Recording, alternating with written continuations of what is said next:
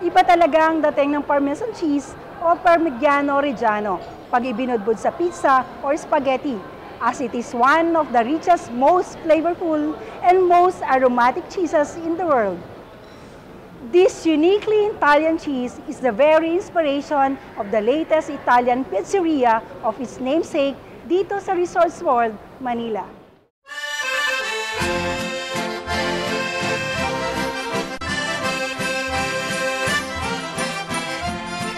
Hi, Kay. Hello. Napaka-cozy naman ng lugar. Um, sobrang ganda ng lugar niya. Thank you. Parmigiano. Ah, Parmigiano. The name Parmigiano came from yung ingredient mismo, uh, the Parmigiano Reggiano cheese. Yung Parmigiano Reggiano cheese kasi, um, ginagamit namin siya as one of the main ingredients of most of the dishes that we have in the restaurant.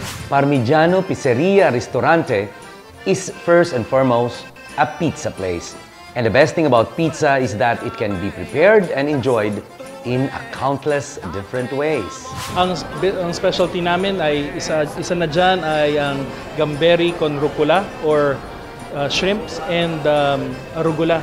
So salad tsaka hipon nasa nasa Wow. pizza.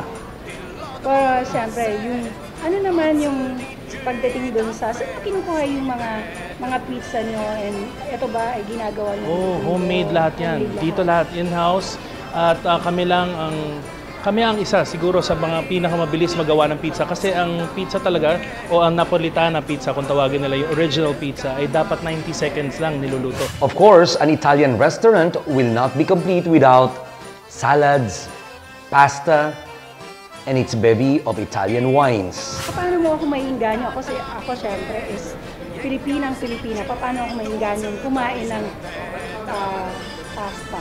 Pasta, um, kasi ang ano talaga sa pasta, kung tama yung pagkakaluto natin ng spaghetti, um, ano na ngayon, 80% na agad, magugustuhan mo agad yung pasta.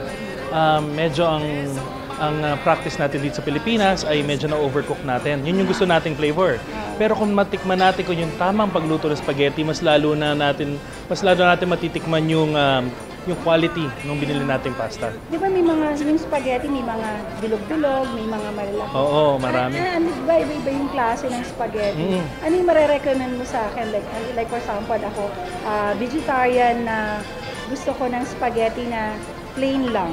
Ah, plain. Um, ang pinakamadali, ang pinakamadali no, ah, na spaghetti na ginagawa yung alio olio, ah, yan yung Ano yun? Olio? a- alio and olio. It's garlic and oil. Ah, okay. So, kahit yung mga Italiano, kakainin nila yan everyday, you know, yun ang staple nila.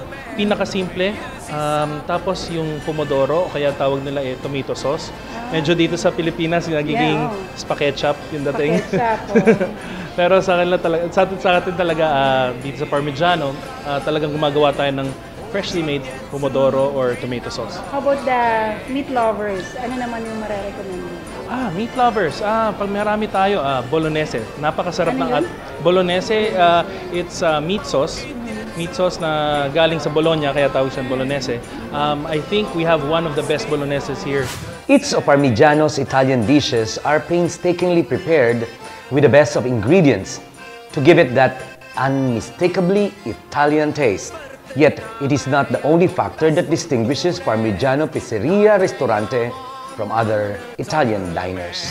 Ano yung masasabi mo na difference ng Different ng Parmigiano. Parmigiano sa Oo. ibang Italian restaurant? Yung pwede mo ipagmalaki sa amin dito? Ah, I see. Bukod sa napakaganda niyong lugar. Ah, okay. Aside from the beautiful ambience that it will offer you, Parmigiano kasi, yun nga, going back with the name, when you, there's a process of getting the cheese of the, parme, the Parmigiano. It's not just your regular Parmesan cheese na um, powder, di ba? It came from a Parmesan wheel that's uh, very meticulously done because there's a check, a person who check it. It's called a consortio.